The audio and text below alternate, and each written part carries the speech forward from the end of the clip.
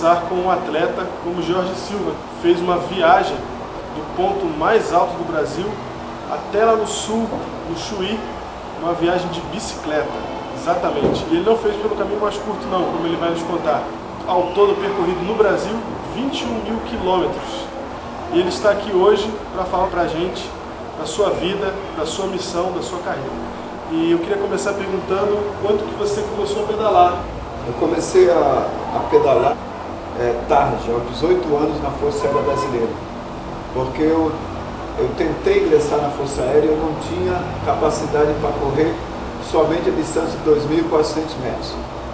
E para entrar na Força Aérea eu aprendi a vencer esse limite, que é conseguir ingressar, é, aprendi a correr não só 2.400. Após ingressar na Força Aérea, eu me tornei um maratonista, correndo a prova de 42 quilômetros. Mas, ao longo desse caminho de pesquisar o esporte, eu aprendi não só a correr, como também a nadar, e por último entrou o ciclismo. O ciclismo entrou em minha vida a partir dos 32 anos, quando Deus me pediu para correr o mundo, aí eu comecei a usar natação, ciclismo e corrida. Então, na verdade, o senhor é um triatleta, né? Isso, um triatleta. Faço a, a, o que chamamos de triatlo. Né? E o senhor disse aí que começou a, a, andar de bicicleta, a pedalar por aí, porque Deus te, te, te pediu isso?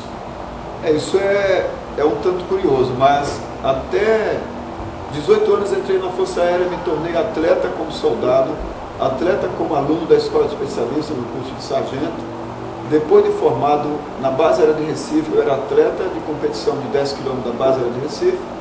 E ao ser transferido para Porto Velho, em Rondônia, também lá era atleta e o melhor atleta em 10 km, só correndo.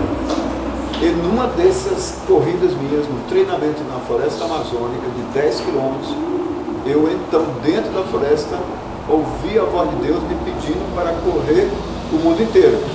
E para treinar, para correr o mundo inteiro, eu achei que só, só correr era pouco. Aí então eu fui também nadar e aí comecei a usar o ciclismo, tudo para me condicionar para poder percorrer o Brasil, treinando depois o alvo do mundo todo. Então, peraí, vamos com calma. Então, o senhor está me dizendo é. que o senhor encontrou um dia correndo na mata, o senhor ouviu a voz de Deus. É isso? Exatamente. E ele falou para você que o senhor tem que correr o mundo com qual objetivo? A frase que eu ouvi foi, algo, foi um momento especial.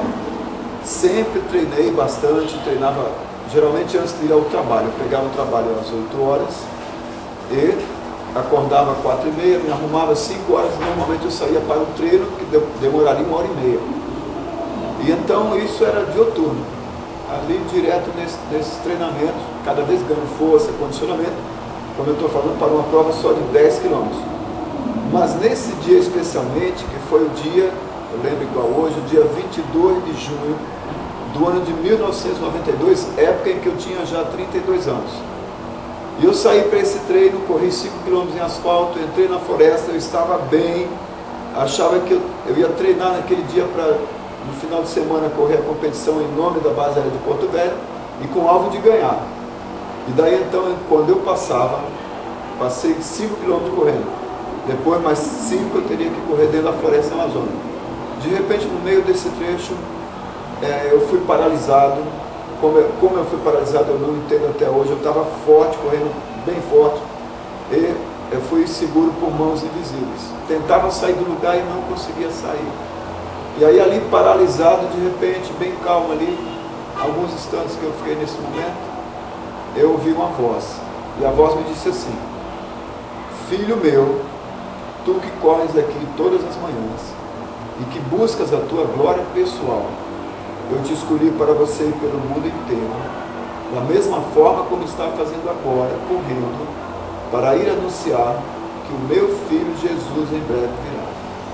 Então, desta forma que eu recebi de Deus, ouvindo, no caso, o Espírito Santo, a voz do Espírito Santo, dentro de uma floresta só, recebi o ministério que hoje é, sou chamado né, do atleta da fé e tenho o ministério leigo do ministério do atleta da fé, com uma missão essa, de correr o mundo a pedido do Senhor para anunciar essa mensagem que é urgente, que Jesus está voltando.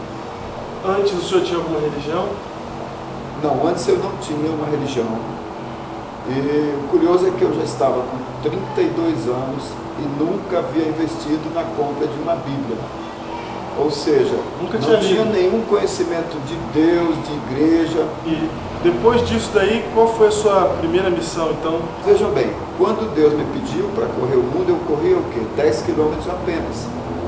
E eu, eu fui calcular quanto tempo eu levaria se eu corresse 10 quilômetros todo dia na- durante a viagem. Você chegou a imaginar É, eu fui fazer uma mapas, viagem eu fui correndo? é, correndo 10 quilômetros, que é a capacidade que eu tinha. Aí eu calculei, então nesse cálculo eu cheguei à conclusão que eu levaria 36 anos. Para dar a volta ao mundo, passando em todos os países. E eu fui e falei, Deus, isso é muito tempo. 36 anos, eu vou estar quase com 70 anos ao final. Então eu gostaria de que o Senhor me capacitasse a correr distâncias maiores todo dia. E daí então eu, eu, eu pensei, bom, eu tenho que ganhar o quê? Condicionamento físico. Eu tenho que treinar mais do que 10 quilômetros. E aí dos só 10 quilômetros que eu corri, eu passei a correr 15, 20, 30, maratona. E da maratona eu cheguei a correr no Brasil três provas de ultramaratona, que é fazer 100 quilômetros no dia.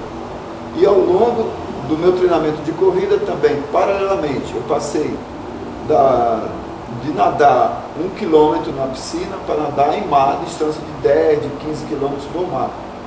E da, eu usei também, então, entrou o ciclismo. Com o ciclismo eu passei de 20 quilômetros, 30, 40, e foi aumentando o ciclismo, até chegar a fazer tranquilo 100 quilômetros no dia, sem problema nenhum no ciclismo. Com todo esse condicionamento. Aí eu me senti preparado para treinar no Brasil para a volta ao mundo. Né? Adquiri condicionamento e fui treinar, Então, viajando. então essa, essa viagem que o senhor fez no Brasil foi um treinamento Um para a treinamento. viagem da volta ao mundo. Agora o interessante é que para treinar para essa viagem, que foi de 8.898 quilômetros, eu fiz quatro viagens anteriores. A primeira viagem, viagem foi de 621 quilômetros, eu saí do Rio a Tatuí, em seis dias. A segunda viagem, novamente do Rio, eu fui até Porto Alegre, em 12 dias viajando. A terceira viagem, eu saí, foram 1.500 quilômetros em 12 dias. A terceira viagem, eu saí novamente do Rio de Janeiro até Rondônia, Porto Velho. Eu viajei em 22 dias, 3.700 quilômetros. A quarta viagem foi do Rio de Janeiro a Belém do Pará. Então aí eu percorri pelo litoral 5.027 quilômetros em 55 dias. Após correr essas quatro viagens, então eu me senti preparado para conquistar o Brasil numa única viagem, de uma ponta a outra. Foi quando eu fui para o Monte Caboraí, atual extremo norte do Brasil, em Roraima, e corri e pedalei durante 79 dias e até atravessando rios e nadando em mares, até chegar no sul, divisa Brasil com o Uruguai, né, depois de 79 dias, 8.898 quilômetros. É o que marcou o odômetro da minha bicicleta depois que eu encostei lá na Avenida Brasil, que divide o Brasil do Uruguai. Puxa vida. E a sua família, como é que ela vê isso? A minha família ela é envolvida, ela é participante, ela é fã do meu trabalho e ela vê que meu trabalho é uma obra de Deus. Então a minha esposa é como a esposa de um missionário dos tempos antigos, ou seja, ela fica na retaguarda, orando, trabalhando, pedindo a Deus que eu tenha sucesso, que eu seja abençoado em cada viagem. Tem, tem alguma história, um salvamento aí, alguma coisa que o senhor passou ultimamente? Eu estou atualmente fazendo o desafio São Paulo. Esse desafio consiste em percorrer a distância aproximada de 2.100 quilômetros, previstos para 40 dias. É, nessa viagem, eu estou passando em todas as cidades que têm escolas adventistas. Que, é, durante essas viagens, logo na, na primeira noite, eu saí de cruzeiro e enfrentei um temporal tremendo na Dutra. Então, perigosíssimo, porque os carros, além da alta velocidade, os caminhões, eu recebia também ali o perigo de pedra, de chuva e escuro. Então, logo no primeiro dia foi a prova de fé, que eu tinha que viajar à noite, porque a palestra em Lorena era bem cedo, e eu precisei viajar à noite. Então foi a minha primeira prova de fé, enfrentar o primeiro dia de viagem com chuva, e vento, escuridão, e ali acreditar que Deus me salvaria. E o senhor não corre o risco de ficar doente numa viagem dessa com chuva?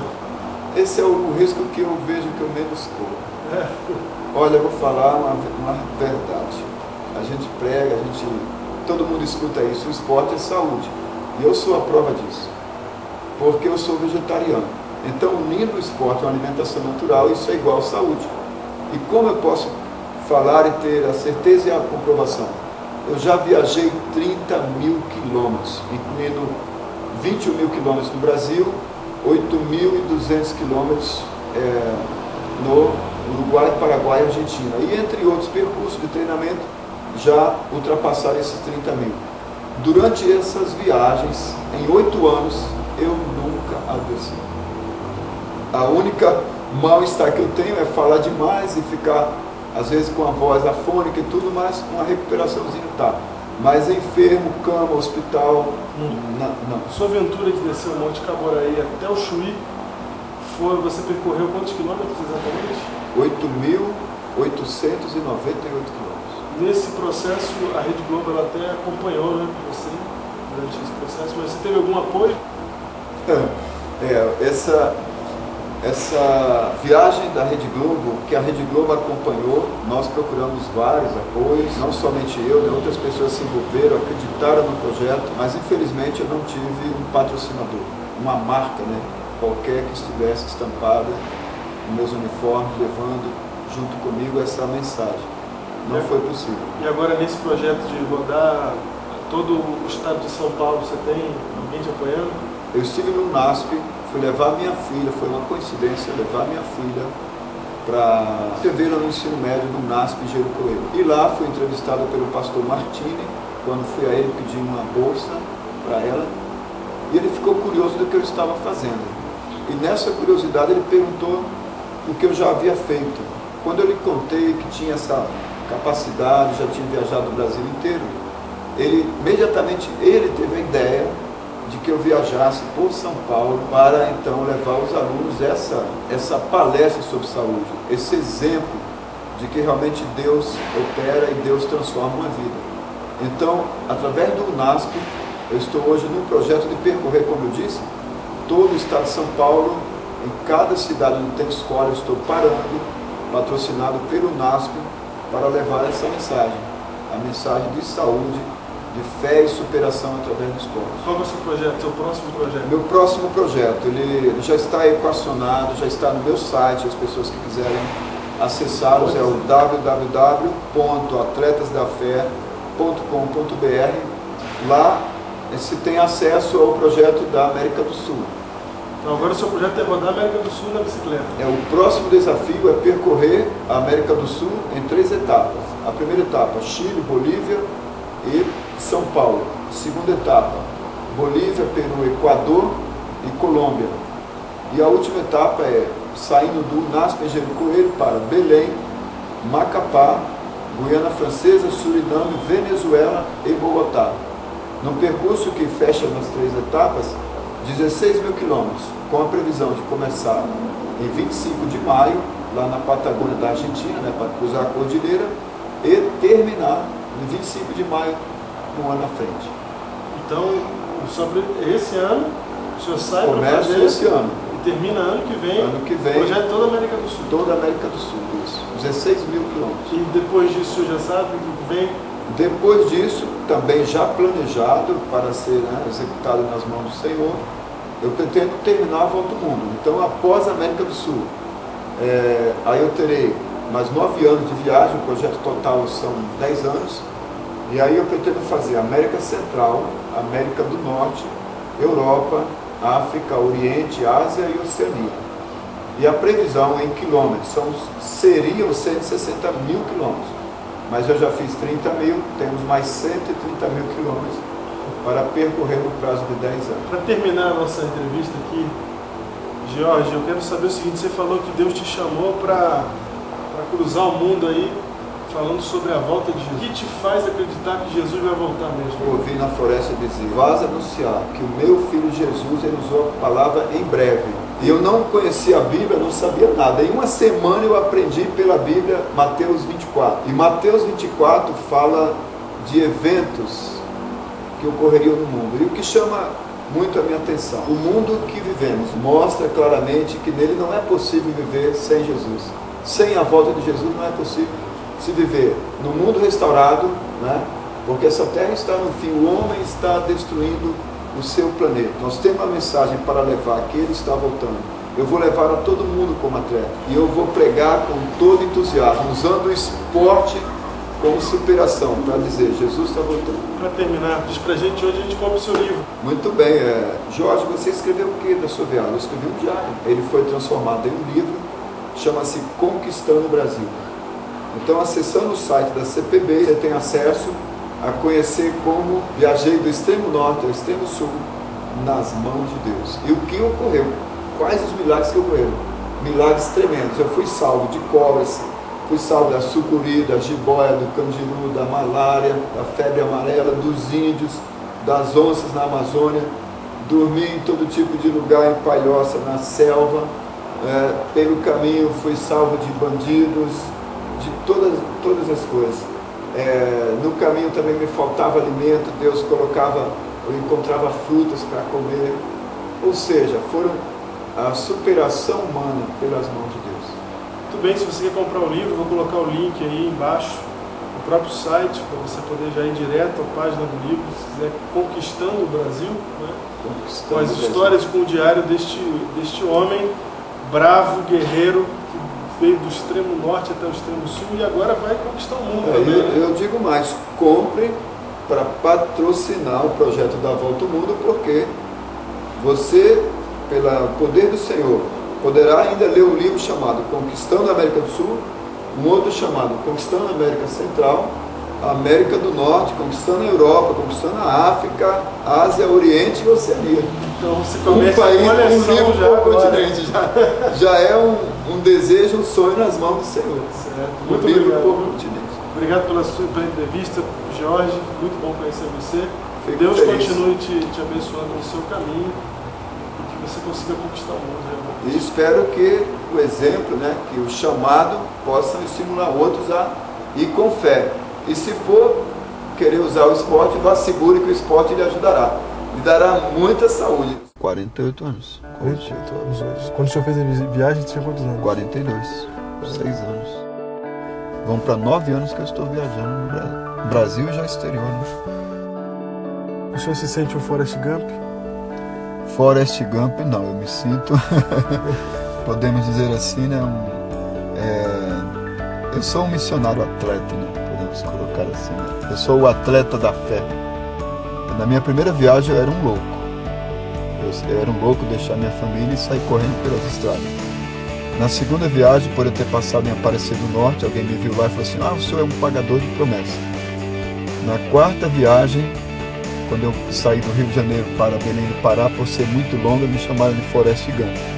E na última viagem, quando eu corri e pedalei do extremo ao norte e extremo sul, que a Rede Globo acompanhou, me tornei famoso. Aí falaram, o senhor é um herói, o senhor é um exemplo para a nossa nação.